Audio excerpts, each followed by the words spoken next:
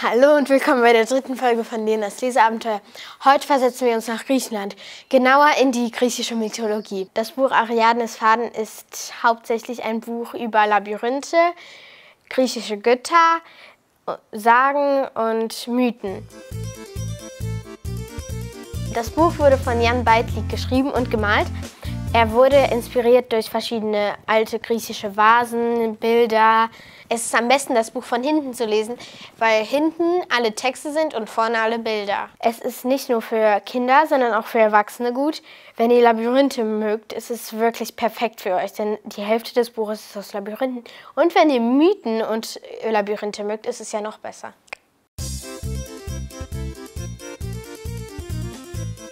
Die meisten Bilder in diesem Buch kann man auch in verschiedenen Museen finden.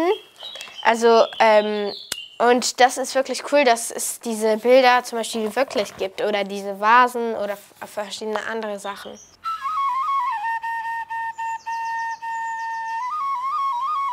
Also Mythen sind Geschichten, äh, also alte Geschichten, die früher den Menschen die Welt erklärt haben. Sie sind vor dem Jahr Null entstanden.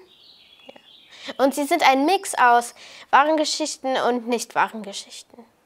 Viele Sprüche, die man heutzutage noch immer benutzt, sind auch aus der alten Mythologie. Äh, zum Beispiel die Sisyphus-Aufgabe. Wir können gerne die Sisyphus-Arbeit mit, mit dem Lernen oder mit der Schule vergleichen, da wir immer wieder lernen und ja, es immer wieder machen müssen. Die meisten Labyrinthe sind meistens schwer und die Seiten sind auch manchmal sehr brutal. Zum Beispiel hier wird Prometheus der Magen aufgefressen von einem Vogel. Oder hier beim Zyklopen. Äh, hier stellt er, der Odysseus sich erstmal dem Zyklopen vor. Äh, der Zyklop fragt, wie heißt er? Und er sagt, ich heiße niemand. Und danach erblindet er ihn, indem er einen Stock in sein Auge schiebt, könnte man sagen. Und danach fragen die anderen Zyklopen, wer hat dir das getan? Und er sagt, niemand.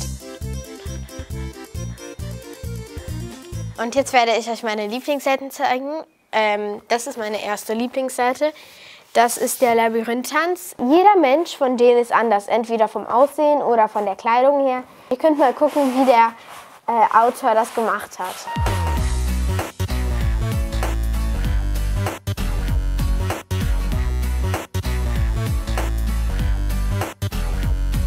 Jan Beitlik war auch ex extra in Griechenland, damit er diese Häuser hier äh, malen kann. Und wenn ihr euch genauer reintieft in die Bilder, könnt ihr verschiedene lustige Geschichten finden. Und hier zum Beispiel, hier spritzt ein Junge einem Mädchen Wasser. Also ich, das sind sehr viele kleine Details, die auch lustig und ja, komisch sind manchmal. Und jetzt kommen wir zu der Olympiade.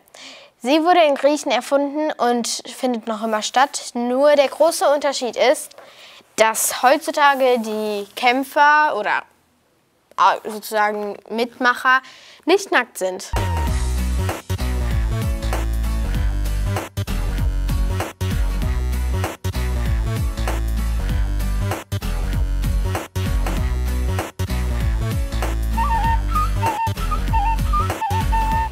Jetzt kommen wir zu den Minuspunkten.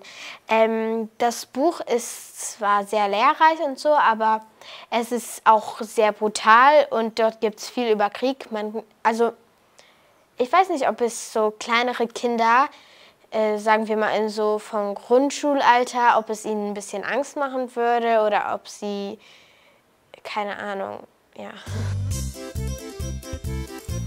Und jetzt kommen wir zu der Elternzone. Das Buch wurde auf die White Ravens Liste 2019 aufgetragen.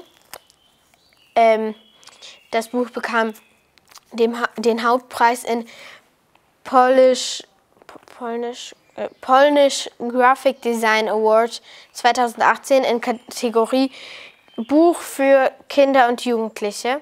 Also im September kommt Jan Beitlik äh, nach Düsseldorf, genauer zum Polnischen Institut Düsseldorf und zeigt seine verschiedenen Grafiken.